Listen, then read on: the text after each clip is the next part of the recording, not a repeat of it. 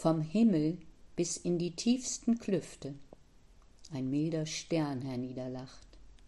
Vom Tannenwalde steigen Düfte und kerzenhelle wird die Nacht. Mir ist das Herz so froh erschrocken, das ist die liebe Weihnachtszeit.